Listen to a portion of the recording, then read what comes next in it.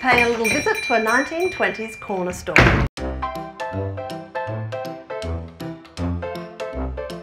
Check this out. This is a public phone. There were 1,606 of these public phones in New South Wales in 1920.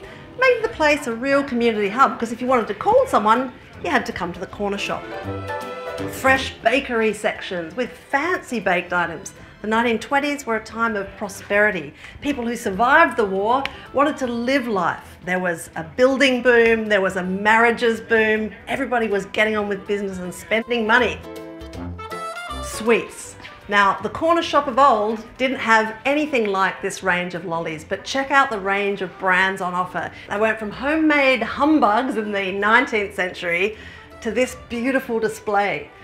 Lots of kids queuing up at this counter. You had Cadbury's coming over from the UK. You had cornflakes as well coming over from the US. Tinned goods, some of them delicious, like tinned potato chips. Sometimes really freaky tins like Hensworth liver pate. Ooh, delicious. The other thing that zoomed along in the 1920s was the arrival of the cash register. The NCR 500 isn't as fancy as it looks. It's still basically just a tin for holding money in, but it's got buttons and flaggy things, and it made you look like a really professional shopkeeper.